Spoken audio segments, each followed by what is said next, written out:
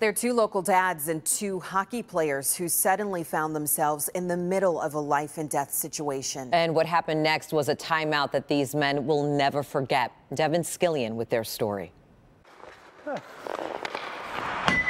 Greg Kolefsky and Jeff Zampi are friends off the ice. Their kids are in hockey and school together.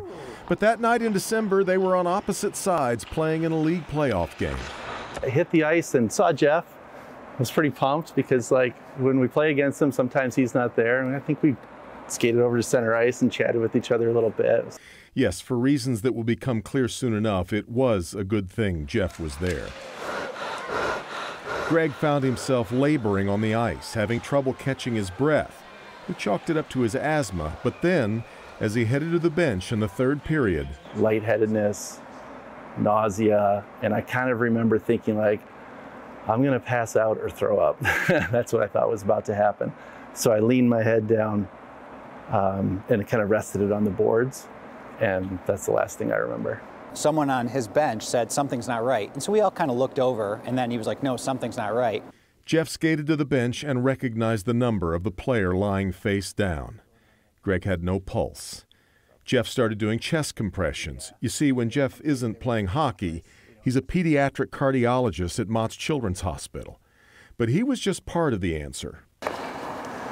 You may know hockey players can be obsessive about their equipment, and sure enough, it was a piece of gear that made the difference on that day, but it wasn't this one.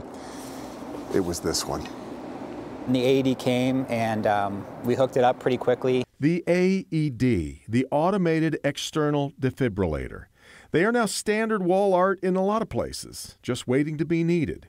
Once it's turned on, it advises shock. Evaluating heart rhythm. It tells you just what to do. Delivering shock. We deliver the shock and then um, uh, he didn't immediately regain, regain, a pulse, which is pretty normal. Sometimes you just need a little bit more time. So we just kept doing chest compressions, probably another two or three minutes, and then you could feel his pulse come back. Greg's heart attack was the variety ER doctors refer to as a widowmaker. Even in a hospital setting, it can prove fatal. Jeff was practicing what he would say to Greg's wife even with a cardiologist on the ice there to respond. Without the defibrillator, he couldn't have done much better than to have a trained cardiac doctor on the ice, but you couldn't have done it without the AED. Oh, yeah, 100%. Yeah, there's a lot of things, like I said, a lot of things had to go well, um, and luckily a lot of them did. So, what about those moments when there was no pulse? Greg doesn't offer this story right away, but eventually you get to a poignant recollection. After I passed out, like the next thing I actually remember is uh, I was getting onto an airplane and I'm walking down the aisle and it's completely empty, no one but me. I'm going down to find my seat. I get to my row and uh, go sit down in my seat and it's like super sunny, bright, beautiful day out. And I'm just waiting there for the flight to take off. Um, and then you came down the aisle uh, towards me and you were like, hey dude, this isn't your flight, follow me. And uh, I just got up and followed you. And the next thing I knew was when I woke up and you and my teammates were over me helping me out.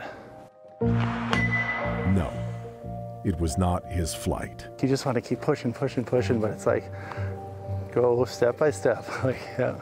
With a stent now implanted, Greg today feels great, eager to play again, in fact. But neither the patient nor the doctor will ever pass an AED on the wall again without notice. And now, perhaps because of Greg and Jeff's story, you'll notice too. The simplicity of AEDs is why they're so successful at saving people's lives uh, in this type of situation. For sure. One of those things that you only notice that it's even around when it works. Absolutely. When, and I, when you've needed it. You know, and I've never used them before. So, I oh, mean, really? Oh, no. Yeah, I mean, this was. Wait, what? Yeah. I shouldn't have told you that.